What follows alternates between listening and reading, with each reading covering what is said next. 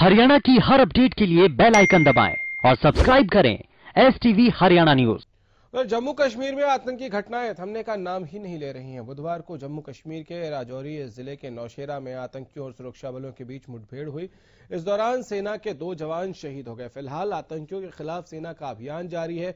पूरे इलाके की घेराबंदी कर ली गई है और सर्च ऑपरेशन चलाया जा रहा है। अभी तक इस मुठभेड़ में किसी आतंकी के मारे जाने की खबर नहीं है।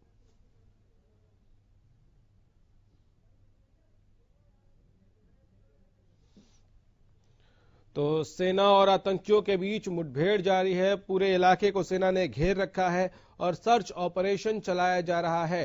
हालाँकि दो जवानों के शहीद होने की दुखद खबर ज़रूर आई है, लेकिन इस वक्त सेना ने पूरे इलाके को घेर रखा है और आतंकियों की तलाश, सघन तलाश जारी है।